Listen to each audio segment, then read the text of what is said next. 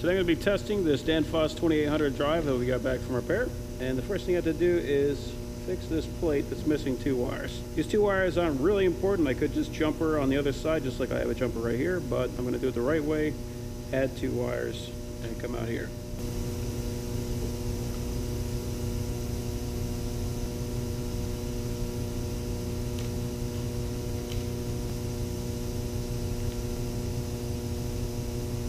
So these two jumpers right here, this is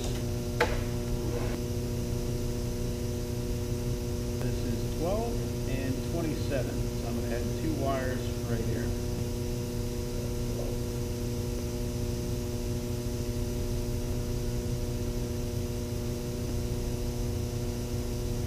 And we'll do the same thing with 27.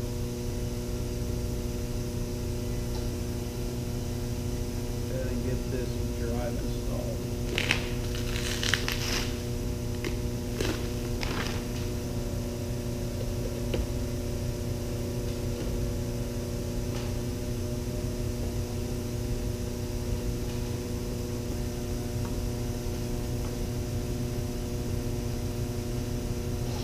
So it's difficult to tell which one of these wires goes up here, so I'm going to have to get a multimeter to test that. On this one, the numbers are just going to go straight across. So I've got uh, number 46 here. Let's find out which one of these is 46.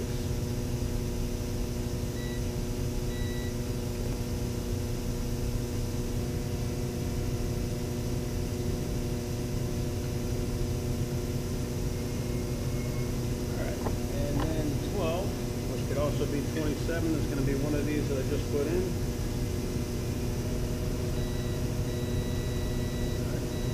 and 27. So it really doesn't matter which one I put where, but I do know that this one is 27, so I'll put this one at 27.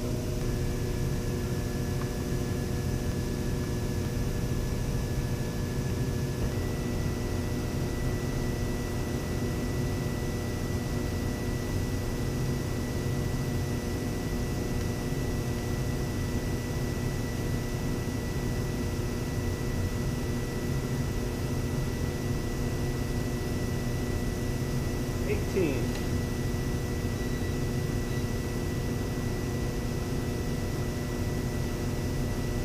Nineteen.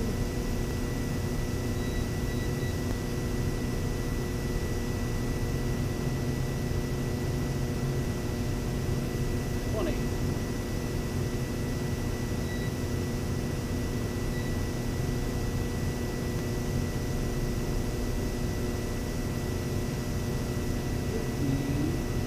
No, twenty-nine.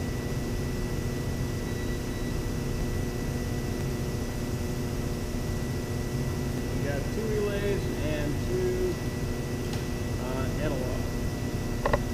Fifty-three.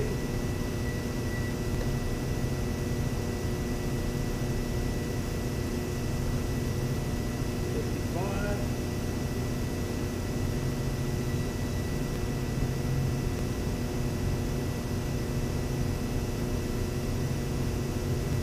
And the safety relay, we got one, two, three. We're only using one and two.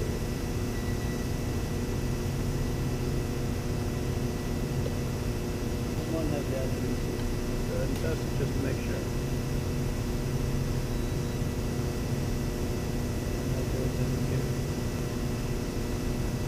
They're all connected. Now we just got to double check everything. We'll go back to one.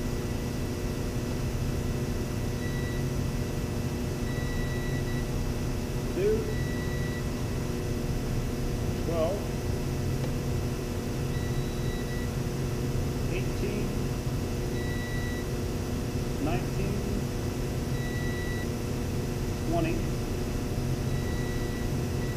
27, 29, 26,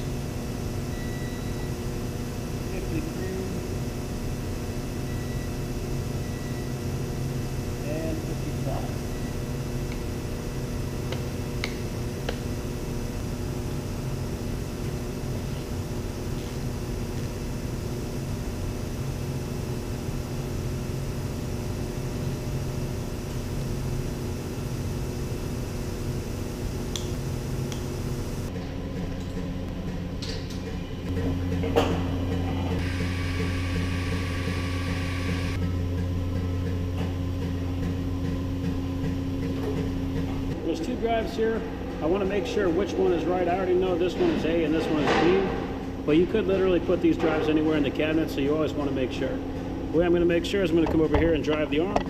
So I'm just going to do a roll arm setup, and we'll change this to, we'll do a half roll in the center.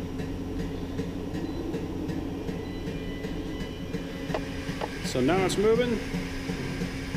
We can see that this one is reading 100. So it's at 100, uh, 100% drive right now. So we know this is the B arm. So this is what it looks like with the original drive.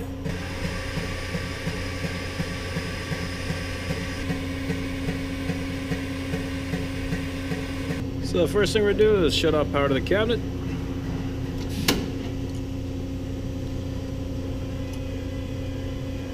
And we got no lights down here.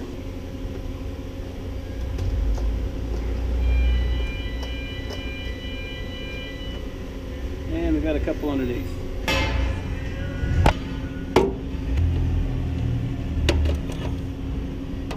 Motor and the lock.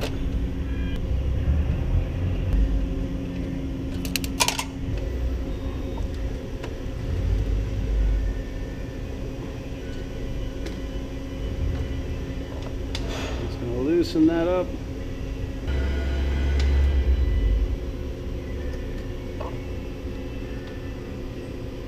And now I can just take the whole thing right off.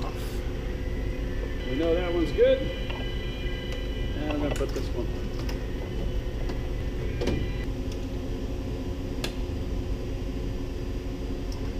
You wanna try to put this on evenly so you're not breaking any of the pins.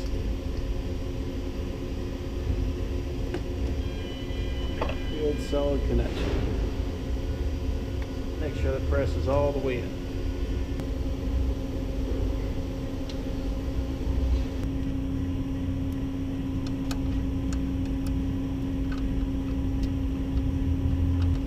This one right here is a motor ground. It's not really as important. Uh, on some of these, they just left it off, but I always try and throw it on so there's some kind of ground.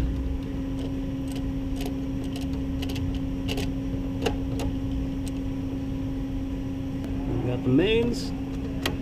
This one prong goes into the brake port, but it doesn't matter because there's no wire there. And the motor. Okay. All right, and the I got to reset it to factory defaults. And the way to do that with this drive is I hold quick menu up and change data all at the same time while I power it on. So I have to hold those three buttons and then power it on.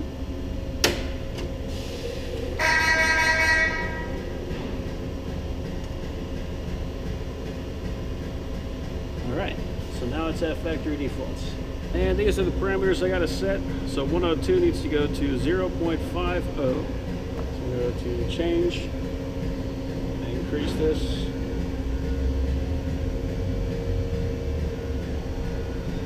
All right, then hit change data. Now we're gonna go to 103. Needs to go to 220. So that's the motor voltage.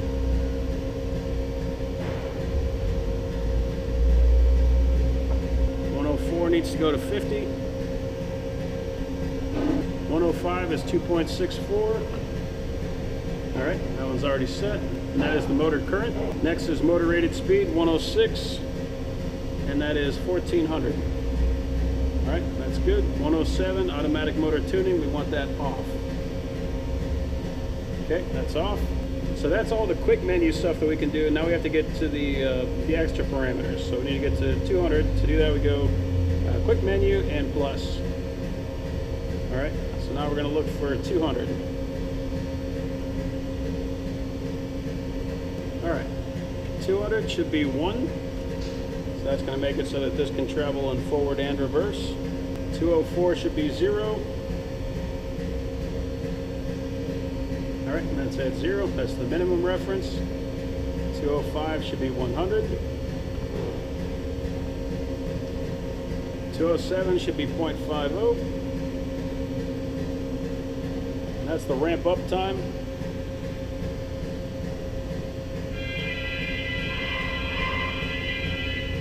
So in other words, that's how long it takes for the motor to get up to full speed. And then 208 should be 0.10. That's the ramp down time. I'm going to quick menu, and we're ready to go.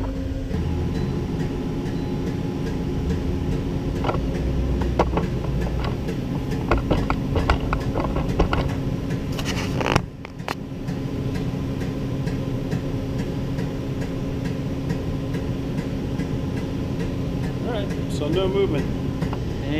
Not even trying. So there's something wrong with the controller or something on here where it's not receiving the input signal.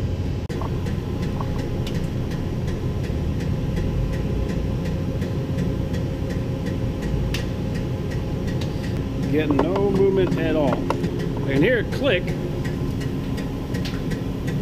but no movement. Alright, so I'm to put the other one back on.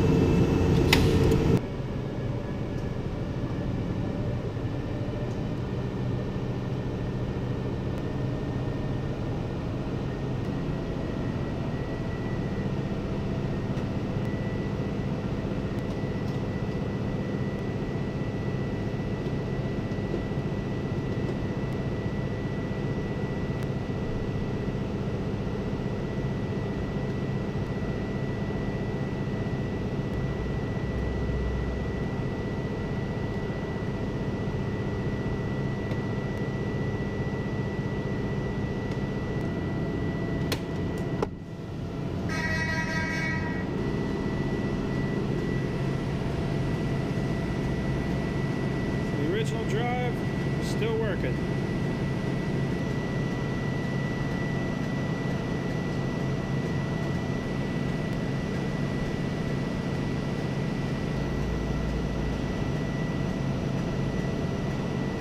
So you can see the original plate that I was using, which is why I had to attach some wires onto this one because this is just a backup adapter plate.